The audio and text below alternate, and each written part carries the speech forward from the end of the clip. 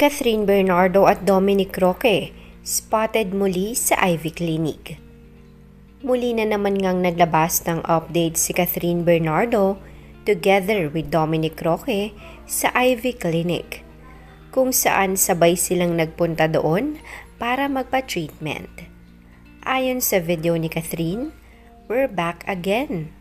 At matapos ang nasabing video at treatment, nabanggit ni Catherine ang katagang bro kay Dominic na nangangahulugan na bro as in kapatid ang turingan. Nang dahil sa update na inilabas, ang ilan sa mga fans ay tanggap na ang pagkakaibigan ni na Catherine at Dominic. Hindi na nga nag-aalala ang mga ito para kay Alden. Kamakailan lamang ay nilinaw na ito ni Dominic sa isang comment section na brothers o magkapatid lamang ang turingan nila ni Catherine. At sinabing magkapatid lang sila. Mailan din naman na kampante na sinasamahan ni Dom si Kath sa mga lakad nito habang busy pa si Alden sa kanyang taping. Alam natin na may approval ito ni Alden at alam ni Alden na nakakasama ni Kath si Dom para alalayan ito at samahan at protektahan habang busy pa siya.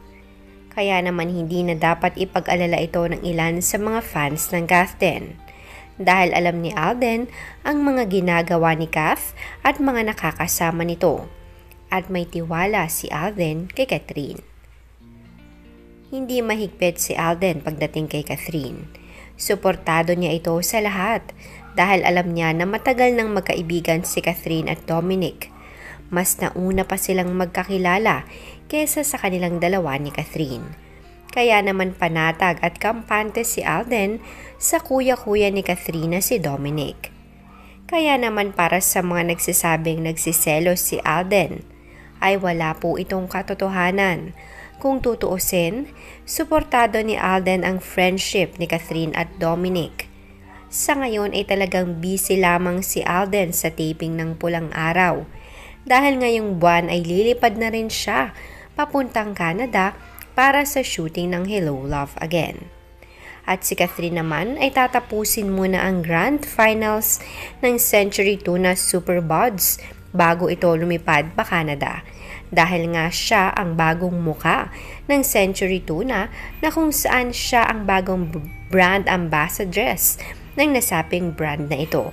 Kaya naman kailangan niya munang tapusin ang commitment niya rito bago ito lumipad sa Canada at mag-umpisa muli ng kanyang shooting. Sa ngayon, mag-abang na lamang tayo ng mga updates sa Kaftan sa channel na ito dahil araw-araw naman akong nagbibigay ng update sa mga Kaftan fans.